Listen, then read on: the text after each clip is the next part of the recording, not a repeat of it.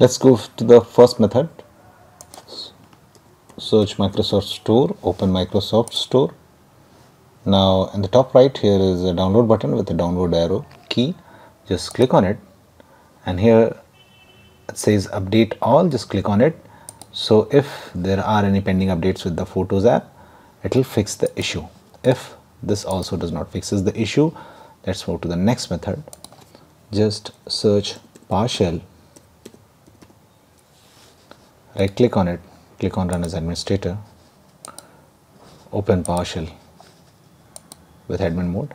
Now you have to copy and paste this code and the PowerShell and hit enter to execute this. What it will do it will remove the photos app from your system. After that we'll install it from the Microsoft store. Okay. Now it has been removed. Now what you have to do is to go to Microsoft store once again and search Microsoft Photos. Okay. Now this will be the app. Okay. Now click on install. Make sure the Microsoft Corporation is the original publisher of this app. So once it gets downloaded and installed in your system try again and your problem will be fixed. If this also does not fix let's move to the last method and that is click on start button click on settings and go to apps.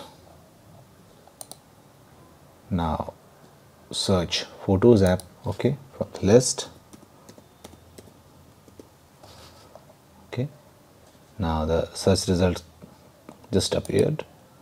Now click on it and it will open an option advanced option. Click on advanced option. Okay. Now scroll down and here you will find reset. Click on reset.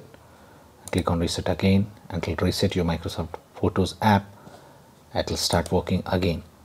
That's it guys. Please do like the video